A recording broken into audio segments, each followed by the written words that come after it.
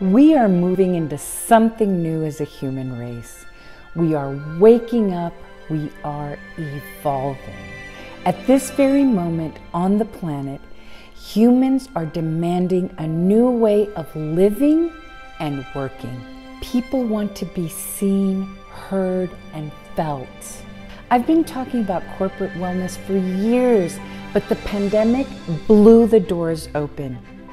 Ignoring the well being of your employees is no longer an option, it's a necessity. Overworked employees lead to burnout.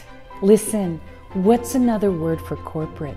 Collective, cooperative, in Humanity 101, house. It behooves you, it behooves us to have a healthier corporate world, especially if it's our cooperative if it's our home. Where do we start? By retaining the amazing people that are already there. How do we keep any relationship? By nurturing it. So here's my four prong approach to what you can do. And it starts with your own technology, the technology you already have, the human technology. First, ask, investigate, Explore what's happening with unhappy or departing employees. Ask. Second, care.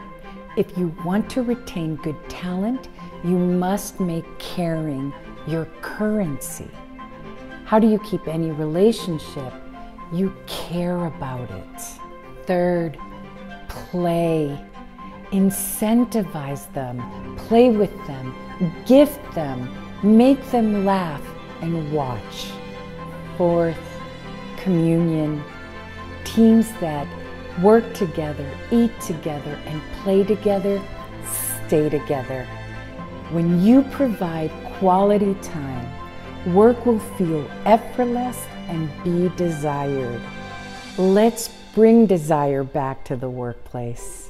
You nurture them, you pay attention, you listen you give, and guaranteed you'll receive.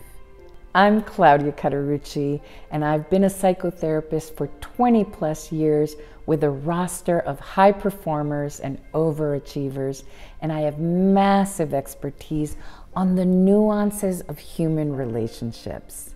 Partner with me. Now is the time to upgrade into your highest version across the board.